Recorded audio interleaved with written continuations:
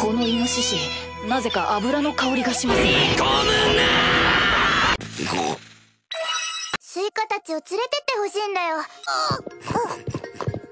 Após tanta espera e trabalho duro do Seco e companhia, eles finalmente conseguem achar petróleo com a ajuda de um javali, galera. Foi muito engraçado. E com a ajuda desse petróleo, eles vão conseguir finalmente fazer o barco a motor e viajar para o outro lado do mundo. Sim, vocês não escutaram errado. O Senko fez um barco. 速攻でオイルテストすんぞ。この船で出れるのかついに。海に。相良油田様の品質次第だな。いいのこれ。字まで。なんだ惚れ薬か。ゼロのてめえが同じ匂いっつってんなら相良油田様もあの日同じ。炭素数5から12出すぞ乗れ